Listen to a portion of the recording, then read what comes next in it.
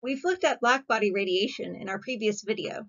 Another study that led to the discovery of quantum mechanics is the photoelectric effect. In this experiment, Albert Einstein shone light of different frequencies on a metal surface. At long wavelengths and low frequencies, no electrons were ejected from the surface. At some higher frequency, called the threshold frequency, electrons were able to be ejected. Above that threshold frequency, electrons were ejected and gained kinetic energy. It was frequency rather than amplitude that was the requirement for ejection of electrons. The fact that light was able to bump into and push electrons at all told Einstein that light can behave as particles called photons. The beams of light that had higher frequencies also had higher energies. The ones at lower frequency did not have enough energy to eject the electrons.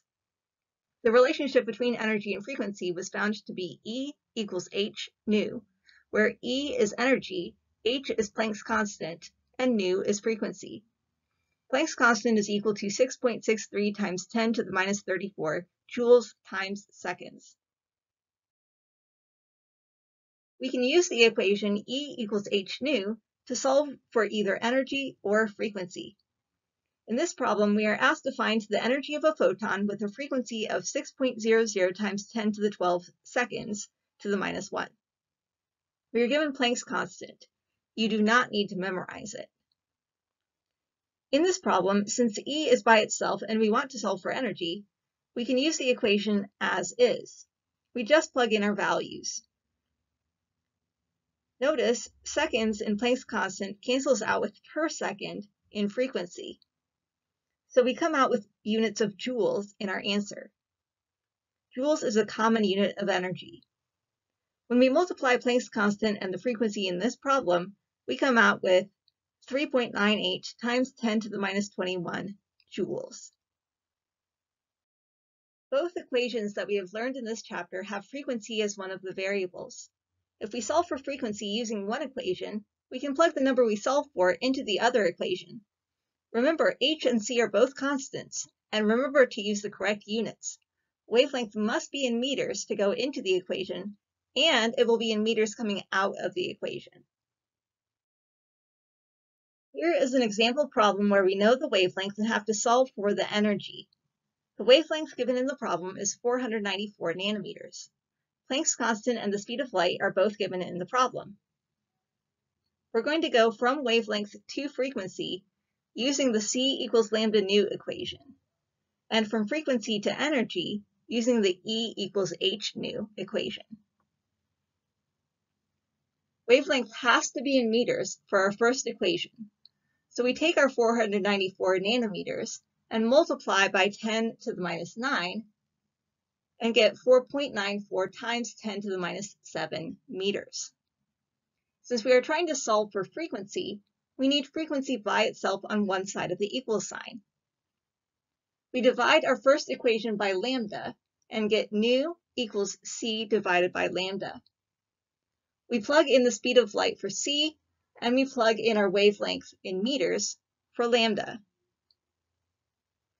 Notice meters in the numerator cancels out with meters in the denominator, leaving us with units of per second for our frequency. Our frequency is 6.0729 times 10 to the 14 per second. Our second equation, E equals h nu, is already in the form we need since we are solving for energy and it is already by itself on one side of the equal sign. We plug in Planck's constant for h and our calculated frequency for nu and come out with 4.03 times 10 to the minus 19 joules. What is the wavelength of light that has an energy of 2.87 times 10 to the minus 21 joules? H is equal to 6.63 times 10 to the minus 34 joules times seconds, and C is equal to 3.00 times 10 to the 8 meters per second. Is the answer A, 5.70 times 10 to the minus 46 meters, B, 6.93 times 10 to the 4 nanometers. C, 1.30 times 10 to the 12 nanometers. Or D, 7.73 times 10 to the minus 13 nanometers. The correct answer is B, 6.93 times 10 to the 4 nanometers. In this problem, we are going from energy to frequency to wavelength. The equation that relates energy and frequency is E equals h nu, so we use that equation first. Before we do, we rearrange it to solve for frequency. We divide both sides by h and get nu equals E over h. We plug in our values from the problem and get 4.3288 times 10 to the 12 per second. Now that we have frequency, we can plug it into the equation that relates frequency and wavelength, c equals lambda nu. Since we are solving for wavelength, we rearrange to get wavelength by itself. Our rearranged equation is lambda equals c divided by nu.